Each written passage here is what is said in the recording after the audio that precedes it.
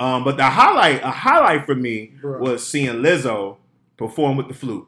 Oh yeah, where did that flute come from? Because first of all, she always tell me she's a bad bitch, but and a lot of women have said they bad bitches, but she was a bad bitch with a flute. I ain't never heard nobody say they're a bad bitch and she must stop where playing the flute. Where did the flute come from? The girl handed it to her. You didn't see that? The, oh, I just seen a flute just pop out of the, nowhere. dan- the so when she was like, "I'm going for it, man," and she started twerking. Mhm. I mean, what that was a nice wave of a twerk.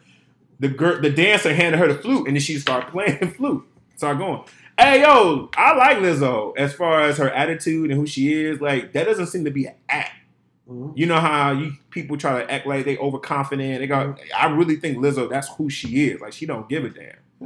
Hmm. Yeah, and I guess the song is based on a, a real guy. Yeah, I think it is a real song. But um, yeah, I like Lizzo too. And Yeah. she definitely picked up a lot more spins. I noticed in like streaming since that performance. Since that performance itself. Since that performance, yeah, she's picked up. Oh yeah, yeah. She definitely has some viral moments. Yeah, yeah, You know what I mean? She definitely got some viral moments, and you know, she she definitely seems like she hit something on people because she definitely had people out there seats. And it's it's one thing to have the the people and the little crowd that they pick out to make it make it look good on TV as, as far as performance wise. Mhm. It's a whole nother thing when you got celebrities on their feet like rocking because celebrities don't like to move for the celebrities. Mhm. But when I saw Rihanna rocking to her and everything, like she's here. Mhm. You know, people like that, you just hope that they stay here, man. But to me, that was that was dope. Lizzo ain't going nowhere.